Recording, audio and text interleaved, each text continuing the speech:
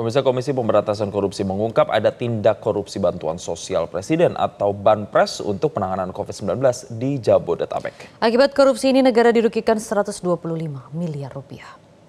Jadi tersangka IW ini merupakan Tessa Mahardika Sugiarto menyatakan dalam kasus ini pelaku diduga menggunakan modus pengurangan kualitas komponen bansos untuk meraup keuntungan pribadi. Kasus ini berbeda dengan perkara yang menjerat ex-menteri sosial Juliari Batubara maupun bantuan sosial beras untuk keluarga penerima manfaat pada program Keluarga Harapan.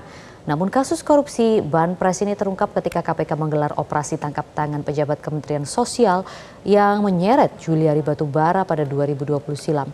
Kasus dugaan korupsi Banpres juga terungkap dalam dakwaan perkara distribusi bantuan sosial beras di Kemensos yang menyeret pengusaha Ivo Wong Karen atau Iwe. Tessa menyatakan saat ini penyidik KPK tengah mengusut kasus korupsi ini.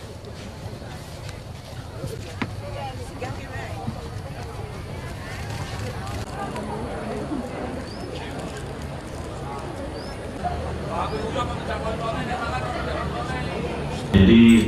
tersangka IW ini merupakan pengembangan perkara uh, distribusi bansos yang baru-baru ini sudah diputus oleh pengadilan tipikor.